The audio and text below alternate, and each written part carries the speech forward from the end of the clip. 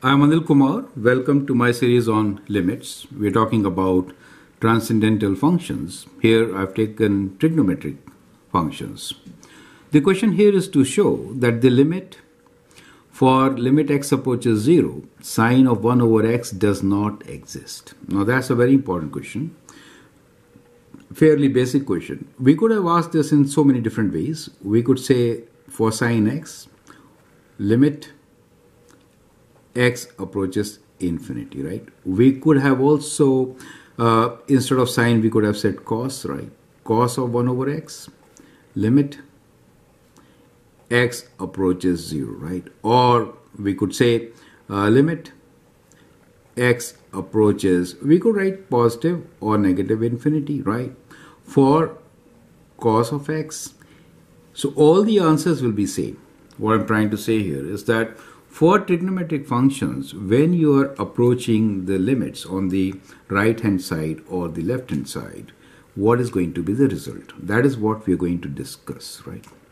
Since I want to provide you with a solution which works for sine or cosine, what I will do here is just create a sine wave, right? So we have a sine wave here. So let's say this is a sine wave, right?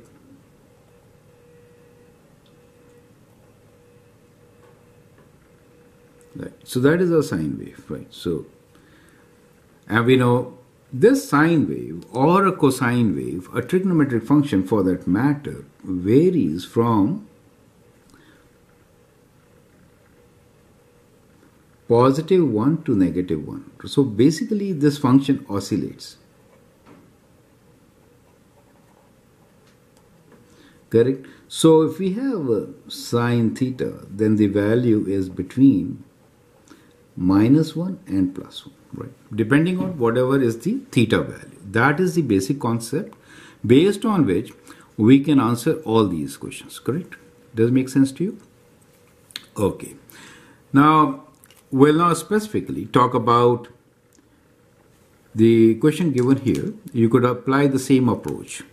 So we have to show that limit x approaches 0 for sine of 1 over x.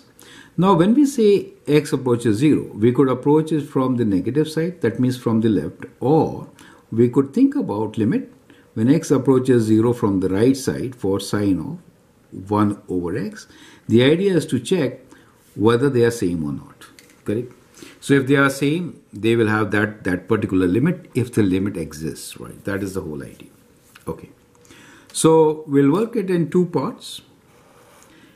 Now, when I say that we are looking into 0 from the left side, now what I will do here is, uh, since we're talking about sine function, now I'm going to change my diagram.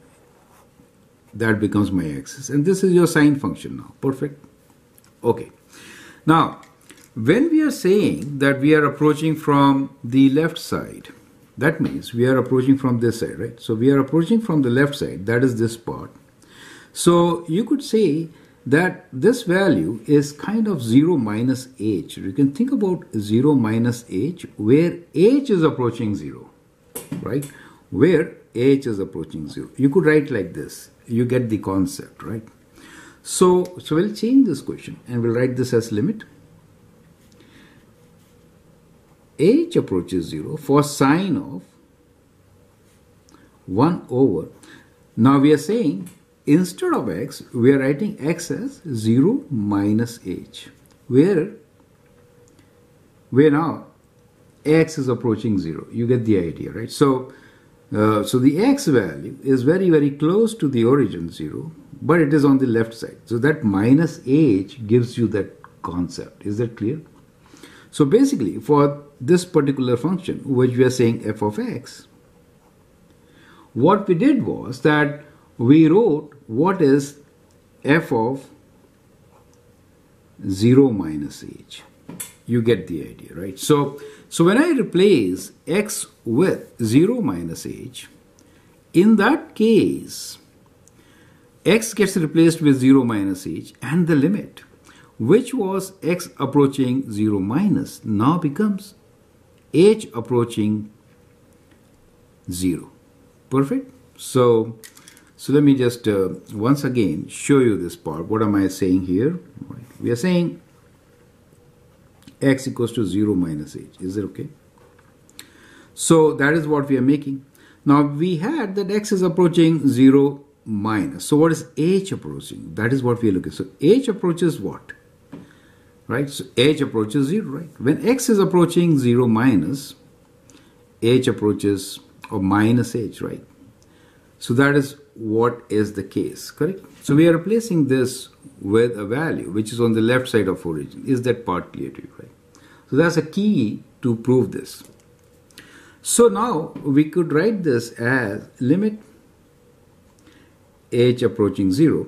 Now that becomes sine of minus. This is sine of minus 1 over h. So it is minus of limit h approaching 0 for sine of 1 over h, correct? Now when h is uh, 0, then 1 over h is infinitely large, right? So, so what are we trying to say here? We are trying to say minus limit sine approach some value which is infinitely large, right? So because 1 over h is infinitely large value.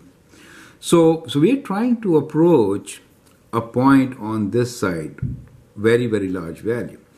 Now, what we notice here is that that point could be anywhere between plus 1 and minus 1. Do you see that? So it oscillates. So that means we are not sure. We are not sure. So we say it is not defined. You get the idea. So when you are approaching from the left side, it is not defined. So it, this was on the left side, correct? Now let's look into the right side. So on the right side, we are going to use the same concept and we can write this as, as limit when x is approaching when we say 0 plus h, right? So you can say something more. You get the idea, right? So we are now approaching from the right side. That is what we're trying to say. So we are on the right side now. Correct? So when we think about this, we could write the whole statement as limit h approaching 0, right, for sine of 1 over h. So what we did here was we replaced this by x approaching 0 plus something, some small value, where h is very, very small. h is approaching 0. So basically you are approaching 0 from the right side. I hope that helps you to understand better, right? So think about this. So that is approaching from the right side. So we have a small value h, where, which is definitely not 0, but approaching 0. So it is from, from the right. So it is a positive value. Does make sense to you, right?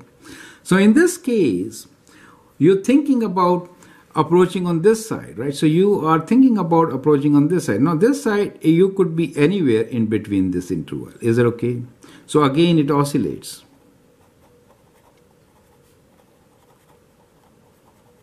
Between plus 1 and minus 1.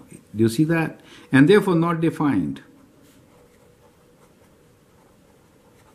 So in such questions, you know, we could have had uh, uh, 0 with, we could have limit x approaches 0 plus, do you understand, for sine of 1 over x. Or we could have limit when x approaches 0 minus for cos of 1 over x.